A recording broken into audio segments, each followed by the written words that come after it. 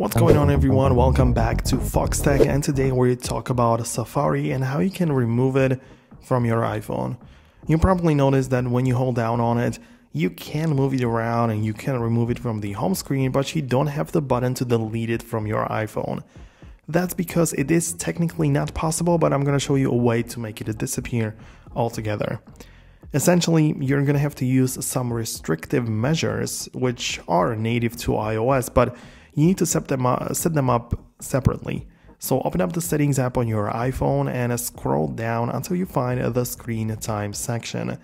Inside there, when you tap on it, you might have it set up already. If not, just follow the instructions to get it working. But then what I want you to click on and scroll down a little bit is the button called content and privacy restrictions. Inside it there, you can manage which apps are allowed and which websites can be visited and stuff like that. So it's very useful. So once you are inside, you can see different things. So just turn on the toggle at the top, but inside there, you can tap on allowed apps. And inside allowed apps, you'll see a list of several apps, including Safari. And to remove Safari, just toggle off the switch.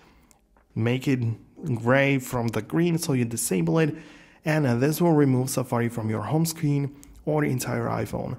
No matter if you go to the app library or just the home screen, you will not be able to find a Safari web browser, which has its downsides of course, but this is probably what you want to achieve with this with this uh, these steps of course. However, you might only want to restrict specific websites rather than disabling Safari entirely, and you can do that too. Navigate to the store and web or something like that is still within uh, the content and privacy restrictions and a tap there on the web content. Here you can manage which websites are accessible, either by limiting certain sites or allowing specific ones, choosing restricted mode or like customizing it the way that you want.